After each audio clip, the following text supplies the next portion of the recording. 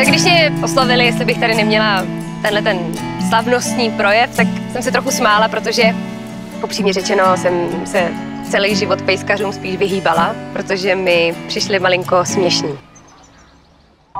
No pak jsem ale šlápla do psího hovna. Dobrý den. Nic si z toho nedělejte. Šlápnout do hovna znamená štěstí. Pak se začaly dít věci.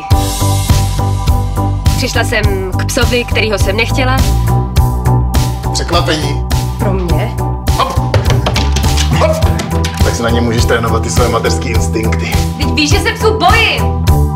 Opustil mě kluk, kterýho jsem chtěla. Takže tvoje deprese se jmenuje Gavina. Ježiš, ale ty toto snad není nutný, teď půjdeme na kafe a ne... Au! Ty to, co blbneš, to není tak, jak to vypadá. To tady vyřešte. Naplademe.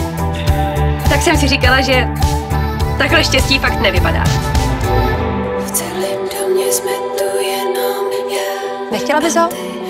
Co pak vypadám jako zoufalec, co potřebuješ jednohýho přítele? A vypadám tak snad já?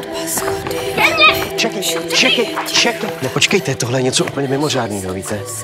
Agáta je Štěpana a bude hádat, takže mě hned napadlo. Mohl bych vás pozvat k sobě domů? Prosím. To je tvůj nový kluk? Víte, někdy člověk přehlídne, že to, po čem touží, je vlastně na dosah. Jste docela hezká holka. S nádherným psem.